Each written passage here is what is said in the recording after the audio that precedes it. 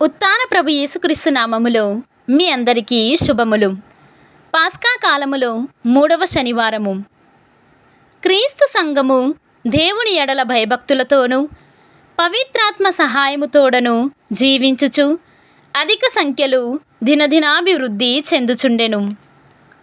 మొదటి పట్టణము అపోసుల కార్యములు తొమ్మిదవ అధ్యాయము ముప్పై ఒకటవ వచనము నుండి నలభై రెండవ వచనం వరకు. ఆ దినములలో యూదయ గలిలియ సమరియా సీమలందంతటా శాంతి చేకూరెను. వారు దేవుని ఎడల భయభక్తులతోడను పవిత్రాత్మ సహాయముతోడను జీవించుచు అధిక సంఖ్యలో దినదినాభివృద్ధి చెందుచుండిరి. పేతురు అంతటను పర్యటించుచు ఒకసారి లిద్దాలో ఉన్న పరిశుద్ధులను చూచుటకై వెళ్ళెను. అక్కడ ఎనిమిది సంవత్సరముల నుండి పక్షవాత రోగముతో బాధపడుచు పడక నుండి లేచుటకైనను శక్తి లేని ఎనియా అను పేరు గల వాణిని చూచి ఎనియా యేసుక్రీస్తు నిన్ను బాగు చేసియున్నాడు. నీవు లేచి నీ పడకను ఎత్తుకొనుము అని చెప్పగా అతడు వెంటనే లేచెను.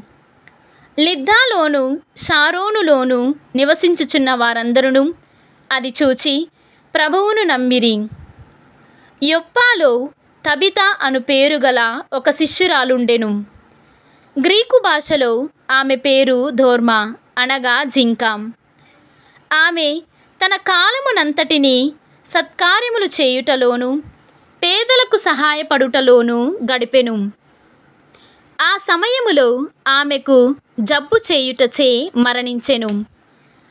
ఆమె దేహమునకు స్నానము చేయించి పై అంతస్తులోనున్న ఒక గదిలో ఉంచిరి.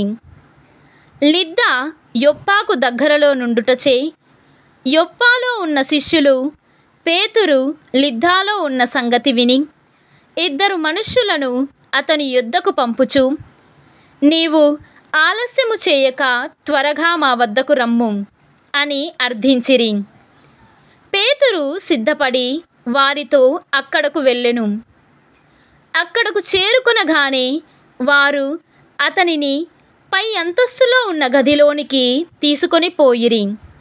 అక్కడ విధవరాండ్రు అందరూ అతని చుట్టూ చేరి ఏడ్చుచు దోర్క తాను జీవించిన కాలములో సిద్ధపరిచిన చొక్కాలను అంగీలను ఆయనకు చూపించిరి.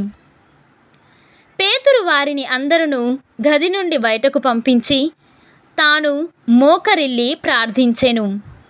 పిమ్మట అతడు ప్రేతము వైపునకు తిరిగి తబీత లెమ్ము అని పలుకగానే ఆమె కన్నులు తెరచి పేతురును చూచి లేచి కూర్చుండెను. ఆమె లేచి నిలువబడుటకు పేతురు సహాయపడెను. అప్పుడు అతడు ఆ పరిశుద్ధులను విధవరాండ్రను పిలిచి సజీవురాలైన ఆమెను వారి ఎదుట ఉంచెను. ఆ విషయము యొప్ప ఎందంతటను ప్రాకిపోవుటచే చాలామంది జనులు ప్రభువును విశ్వసించిరి. ఇది ప్రభువు వాక్కు సర్వేశ్వరునికి వందనములు. భక్తి కీర్తన. ప్రభువు నాకు చేసిన ఉపకారములకు గాను అతనికి ఏమి అర్పింపగలను? ఈనాటి సువిశేషము పునీత యోహాను గారు వ్రాసిన సువిశేషము ఆరవ అధ్యాయము అరవయవ వచనము నుండి అరవై తొమ్మిదవ వచనము వరకు. ఆయన శిష్యులలో అనేకులు ఈ మాటలు కఠినమైనవి ఎవడు వినగలడు అని చెప్పుకొనిరి.